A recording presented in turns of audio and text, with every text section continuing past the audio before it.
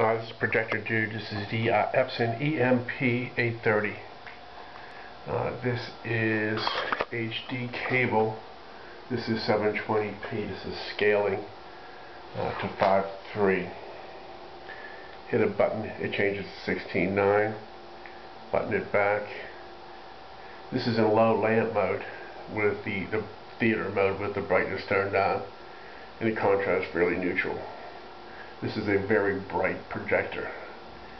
It does kick down for some excellent home theater for something without an iris just because the color is so super saturated and it's so accurate. There's no motion issues with this projector whatsoever. It's just so much better than some of the DLPs. I have a couple high-end LCDs and this, this is pretty nice without a iris. This is a very sharp, intense picture. Very quiet projector also you can't really hear it. This is in low lamp mode. This is using the component HD cables that are on the back of Comcast HD cable Verizon the Blu-ray players. It's the same HD it's just analog. You really can't tell the difference. And you don't have to worry about 1080p it scales 1080p to 720p because it's a native 720p XGA projector